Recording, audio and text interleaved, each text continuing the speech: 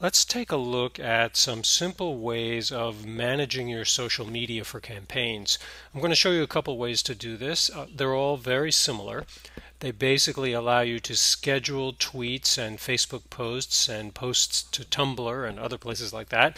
And they allow you to monitor things, monitor when people are talking about you or when people have retweeted you or have DM'd you, direct messaged you. The value of this is that if you have multiple accounts, you can look at them all in one place. It also makes it easy to track things. You don't have to log in all the time. You can get a quick look and see what people are saying about you and about your campaign. If you have a hashtag for something, you can create a search for that hashtag. We're looking right now at Hootsuite. It's one of the ones that's been around for quite a while.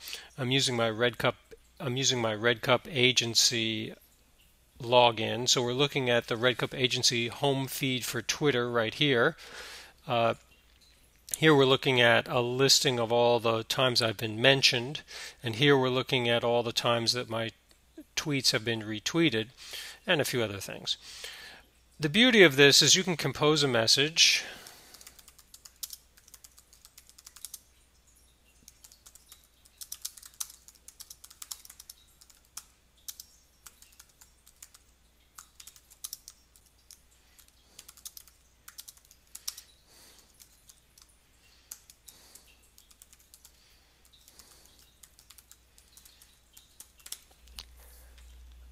just like that. And you can choose to send this message right now.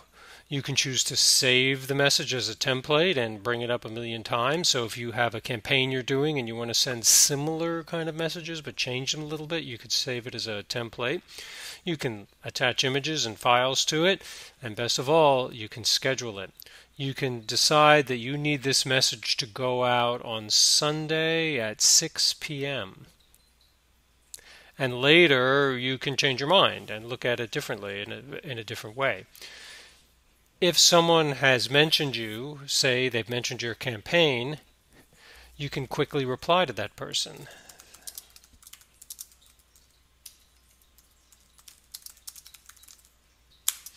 And of course, you can send this right now, or you could schedule it to go out at another time. This is really valuable when people are talking about you and you want to get back to them. Here you'll get a look at how your tweets are being retweeted so you get a sense of your impact.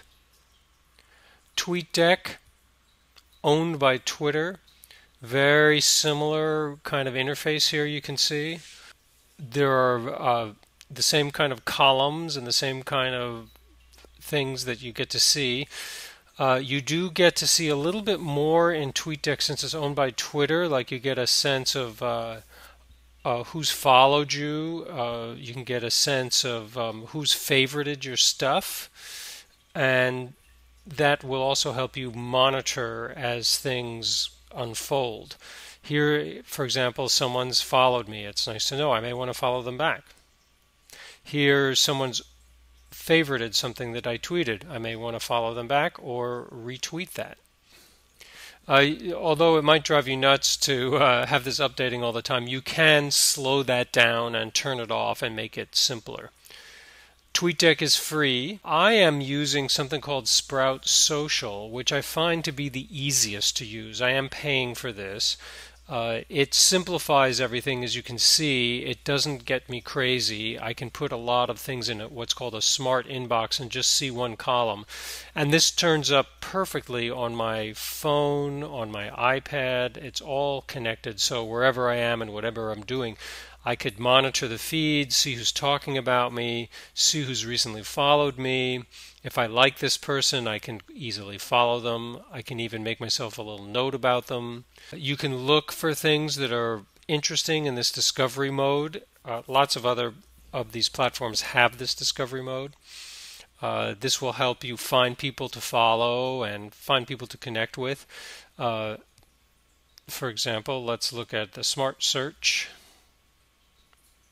And let's enter a keyword. We want to look for all people who are writing about crowdfunding if you were doing a campaign about something, say toys or a movie, you could put a keyword expressive of your campaign, find all the people who are writing about what you're crowdfunding about.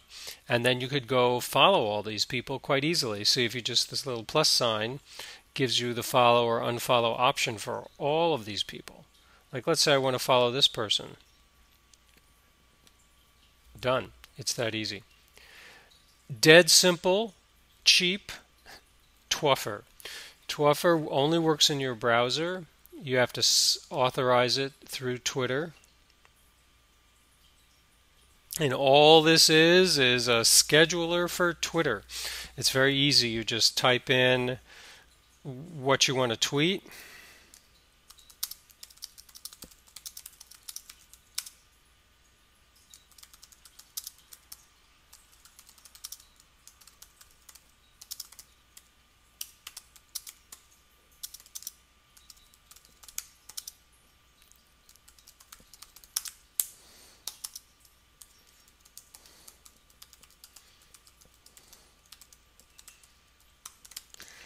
So I'm asking people to check that out. I would like this to go out on the 17th at 10 a.m. If you click on this little bar here, it'll give you a listing of your scheduled tweets and you'll be able to just check them before they go out. This is the the dirt simple way of doing it. It's free. Uh, you you can't look at a whole bunch of stuff, but you can certainly schedule your Twitter feed. Uh, the other platforms, the more sophisticated ones like Hootsuite and Sprout Social, they allow you to schedule to Facebook too. I don't recommend scheduling to Facebook because Facebook is better off being personal and present. But the point being, whatever these platforms you might want to choose, you just have to go to one place, perhaps 15, 20 minutes in the morning or whenever you choose, and schedule out the next few days' media. And they also permit you to get a real, a wonderful bird's eye view of what is going to come up so you can change and shuffle and adjust. These platforms give you a really quick way of scheduling your social media and simplifying your life.